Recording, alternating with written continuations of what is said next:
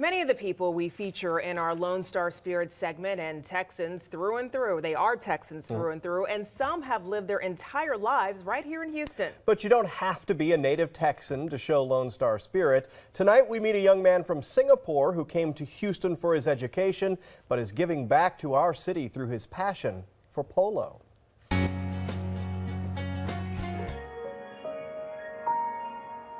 When Ameer Jumabhoy was deciding where in the U.S. to go to college four years ago, he had plenty of choices, including prestigious universities in the Northeast.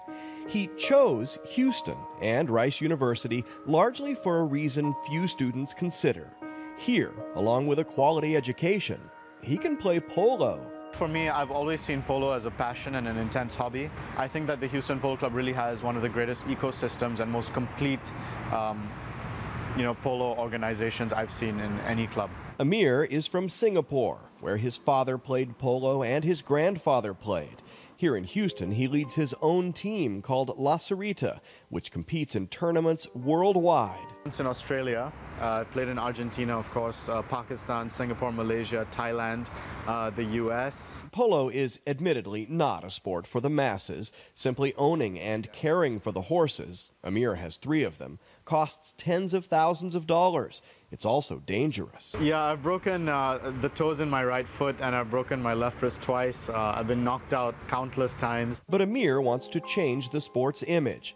Through charity tournaments and even modeling, he hopes to broaden the appeal of polo, much in the way Formula One racing, another sport for the rich, has become a worldwide phenomenon. My real uh, mission with polo is to more people, which is why location is so important, uh, as well as raise as much social awareness as possible. More than anything, Ameer Jumabhoy sees polo as a way to do good. He has raised more than $200,000 to treat sick children in Houston and envisions a world where charity polo tournaments, much like golf or tennis, raise millions for sick kids and cancer research every year.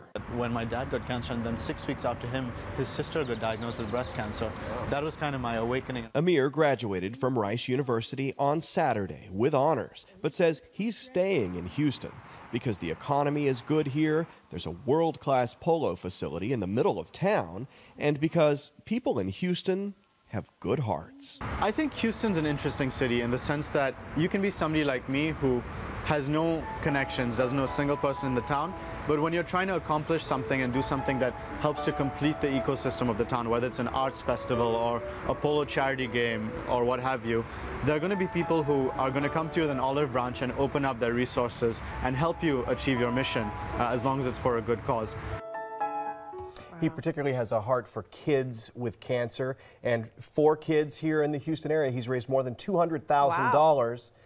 Not bad for a guy who just graduated college Saturday. Not so. bad at all. You yeah. can't hate him because he has good looks. You know, he's doing good things in the That's community. Right. If you know of someone who shows Lone Star spirit by overcoming tough odds in life or by helping others, I'd love to hear from you. You can find Don on Facebook and Twitter, or you can email him here at the station at don.teague at foxtv.com.